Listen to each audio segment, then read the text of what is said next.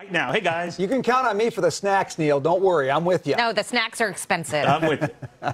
Thanks, sir. Hello, everyone. I'm Brian Brenberg. I'm Jackie DeAngelis. I'm Taylor Riggs. Welcome to the Big Money Show. Thanks very much for that. Good to see you.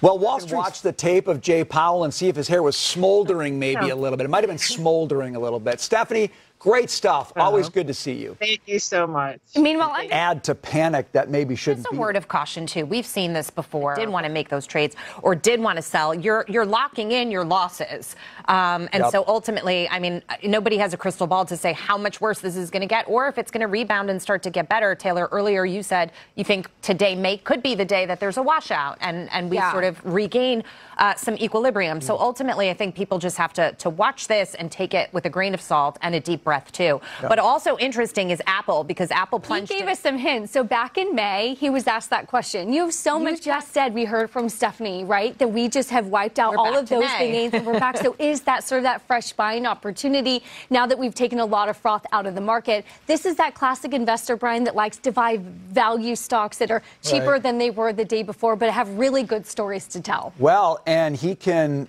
park that cash, get like get in on the interest. When he's keeping powder dry, what it tells me is what we're seeing today may not be the end of what we've started to see. He buys when no one else will. But ultimately, So I'll say see. this too: just asking some analysts and people who are invested in the market on the spending and they are more cautious.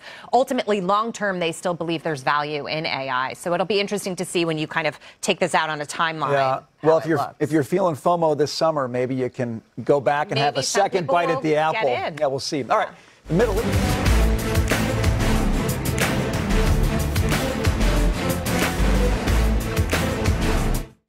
My feeling is it's sort of the fundamentals of the market and the economy, global growth, it's the election, and it's also this geopolitical unrest, which really does tie back to this administration, which in some ways has led us here by not really standing by Israel from the get go, October 7th last year. So I want to get your take on this, where you see it going next. I mean, they've told us, Iran has said they will do something, probably today.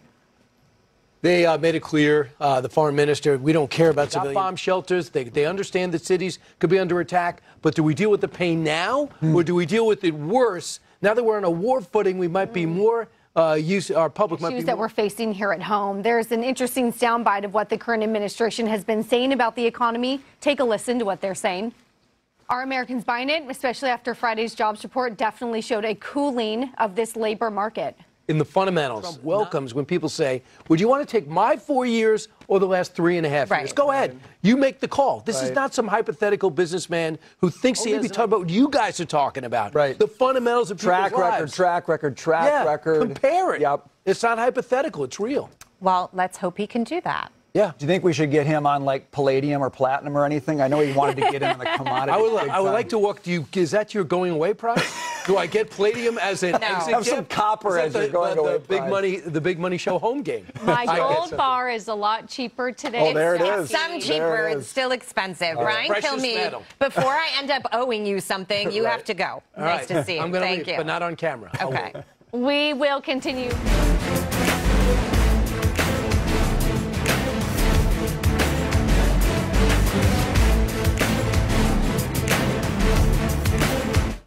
With us with more. Jacob, talk to me. We talk about the wonky twos, tens. What that means is, is the recession here or not? What are you hearing? What are you seeing? Yeah, the recession right now. Parts are what's going to happen in the election. Are we going to have a Trump or a Harris presidency? Can't control that per se. And also, there's this geopolitical instability. So if I'm looking at the Nasdaq today, down almost three percent, and I'm sort of itching to buy, is today that I buy, or should I should I wait? My answer is so boring. You should be buying. Much, really appreciate it. Let's get back to some of the individual movers on You these. want to think about adding to your positions. There will be growth in America again. It, I promise. Can we talk about adding a little bit? We have a great biggest chart. of- mistakes I think I've made was not buying during the pandemic because it seemed so scary, like the world was ending. It never ends. We end up doing well again. It might take time to rebound, but if time's on your side, then be in it to win it. Time is on your side is a good Rolling Stones song too. All right. Coming up.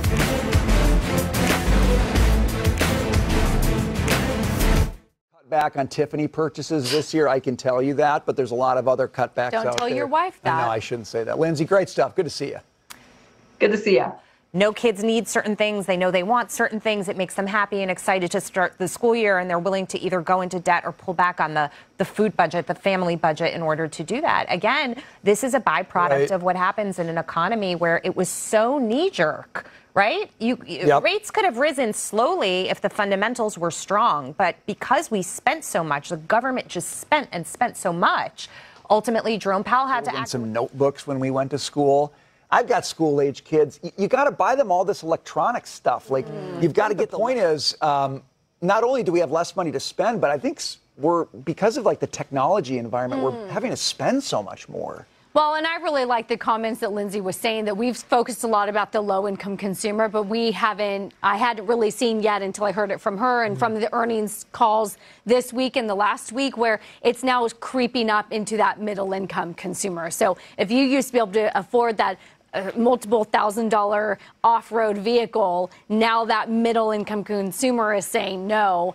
That's very different from a five below or a McDonald's low end consumer who's been saying I'm stretched. So Yeah. now that that is starting to climb up the ladder, that makes me a little nervous. And remember, the ultimate, the super wealthy, they're not going to pull back really on anything. This doesn't impact them. It's the poor and that middle class person that you're talking about, Taylor, that this administration said they would help, and yet they're being squeezed the most. Yep, good point. All right, this is also just in the State Department.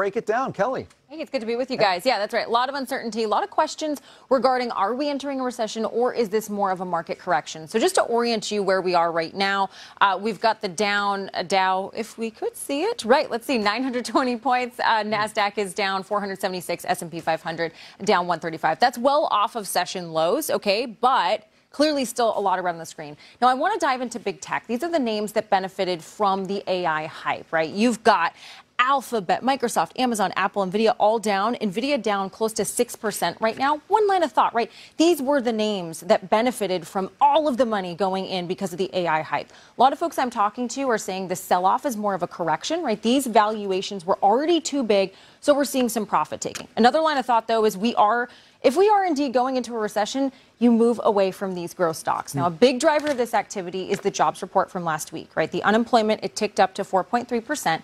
That triggers what's known as the Sahm rule. Without getting bogged down into the nitty gritty, the Sahm rule has been accurate in defining every recession since the early 70s. Mm. Another metric of note Goldman Sachs, they just upgraded the risk of a recession from 15 to 25%.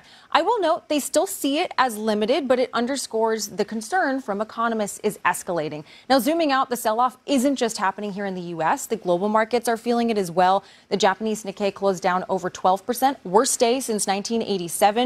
My favorite cryptocurrencies, they're also shedding over $500 billion in the last 24 hours. So, Brian, yes, investors are concerned. There's a flight to safer assets we're seeing, but we're still off those session lows. So I think it's too early to determine if this is really, you know, recession is real. Uh, Taylor was schooling me on the Sahm rule last week, but I think Claudia Sahm herself said, I don't even know if I buy my own rule this week. So we will see. Combining that with what you reported on in the bond market as well, these are things that we look at historically that do give us a sense. And it may not be we're you know in recession today, but that doesn't mean that it's not coming down the pike. I do think they're important data points. Thank you. Good See, stuff. We're making some rolling bonds cool again. Right. Jackie, we're taking Brian down with us.